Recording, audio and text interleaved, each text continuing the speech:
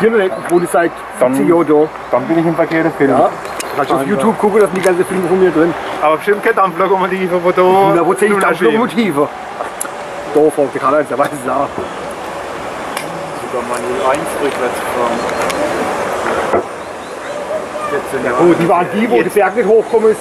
Die sind da nach da rückwärts runtergeschoben, wieder vorgeschoben. Mal. Ah, Ich hab also nie gesehen, deswegen. Jo, Ich so. Jetzt erzählen aber. Nee. Ja, das Kann vielleicht mal ein Sonderfall sein, ja, wenn irgendwas Besonderes ist, aber nicht beim Regentum, vielleicht, definitiv nicht.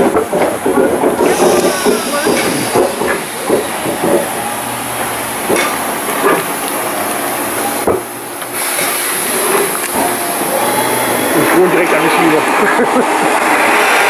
Und ihr das was auch Ja, das ist so. Nicht wieder. Ich Egal, jetzt noch ein bisschen nach rechts. So, du musst jetzt die Hand zuschalten. Hoppala.